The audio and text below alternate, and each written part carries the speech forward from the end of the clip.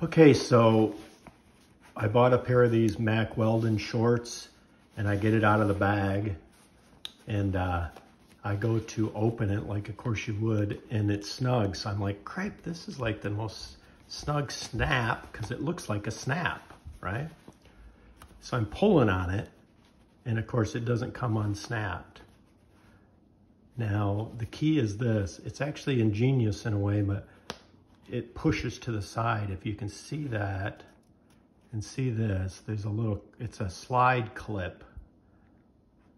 And once you figure that out, of course, it makes perfect sense and it's great. See that?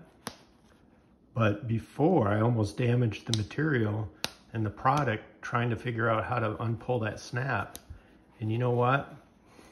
Again, it's hard given the dynamics of what I'm working with here, but you get the idea. But then they make it more difficult by, they actually use a snap here and the back.